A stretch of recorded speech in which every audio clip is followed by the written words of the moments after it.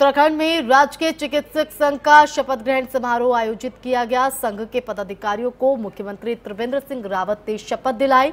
इस दौरान कार्यक्रम में स्वास्थ्य विभाग के अधिकारी मौजूद रहे तो संघ के पदाधिकारियों ने संघ की मजबूती को लेकर अपनी बात रखी।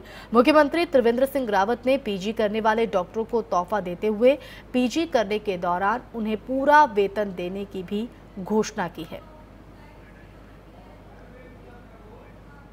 में जो प्रांतीय चिकित्सा सेवा संघ की जो नई कार्य समिति बनी है, उसके जो पदाधिकारी बने, उनको बहुत बधाई देता हूँ। और इसलिए भी उनको बधाई देता हूँ कि उन्होंने अपने साथी जो विशेष योगदान कर रहे हैं दूरस्थ क्षेत्रों में, उनको यहाँ पर आज सम्मानित किया है।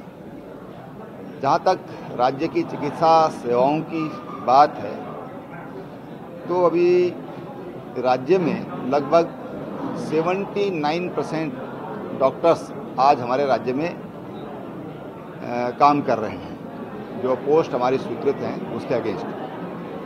राज्य ने मातृ मृत्यु दर हो या शिशु मृत्यु दर हो उसमें बहुत बड़ी अचीवमेंट्स की है।